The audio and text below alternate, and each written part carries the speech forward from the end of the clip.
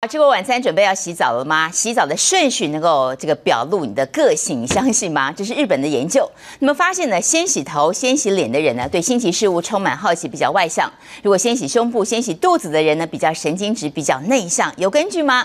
精神科医师讲，根据脑科的科学分析，的确可以从洗澡的顺序来推测你的性格。肩膀洗脚趾，搓搓手，抹抹背。其实洗澡从哪一部位开始可以反映个性？你会从哪里开始洗？洗澡吗？洗头啊？头啊。先先洗头。从上到下。洗发、护发，然后再洗身上。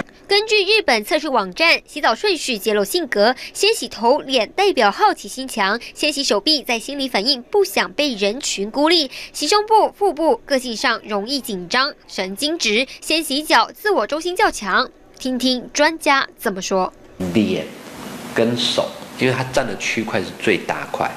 那这个区块最大块，而你会比如说洗澡，或者你很注重你的手跟脸的人，其实你有容易会有几个特征。第一个特征就是你呢会对外界充满了好奇；第二个呢，你很注重你的形象。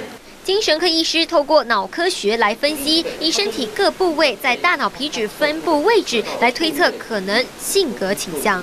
如果要这样连接的话，应该是吧？蛮准的，对不对？嗯。啊，有些人不洗头的也 也也 就只用身体洗啊，然后那个也不一定比较内向啊。洗澡顺序常常习惯成自然，医师强调科学根据证明洗澡顺序能反映性格。下次洗澡前多留意小细节，或许会更加了解自己。这是胡启仁微宣台北采访报道。